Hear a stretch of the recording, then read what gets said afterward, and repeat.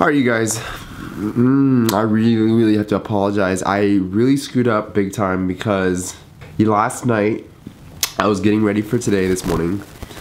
I was just being over too prepared and I was absolutely not thinking. I completely deleted all my footage from yesterday. So there goes my vlogging for for today's upload. So I really apologize about that. I actually didn't do too much anyways, and I didn't really have too much to talk about. So I guess it was a lost cause from the beginning anyways. And also, um, I didn't really feel like vlogging anyways yesterday. So I, I feel like somehow my attitude manifested into me deleting the footage somehow.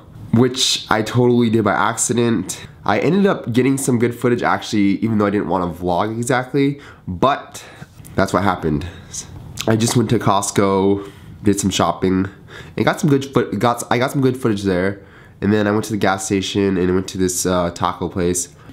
The gas station was interesting because there was a Powerball going on last night, and I went into the store, into the gas station store, and like the gas station was like so full because everybody was in the store was like lined up for the lottery because it's like almost a billion dollars right now. Nobody won, so it's still, it's probably going to be like yeah over a billion on. I think I think it plays on Wednesday lottery, so it's it's just crazy. I don't know if it's like that everywhere else, people where people are just in lines and lining up for the lottery like out the door. Like literally yesterday, the line was out the door.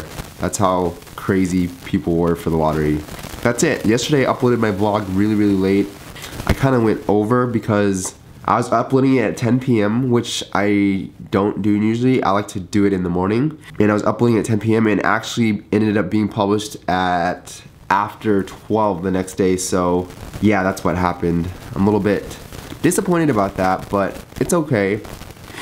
These are just these are just be the beginnings of my vlogs and I just need to be on it more and make sure I'm really responsible about it and just get it done.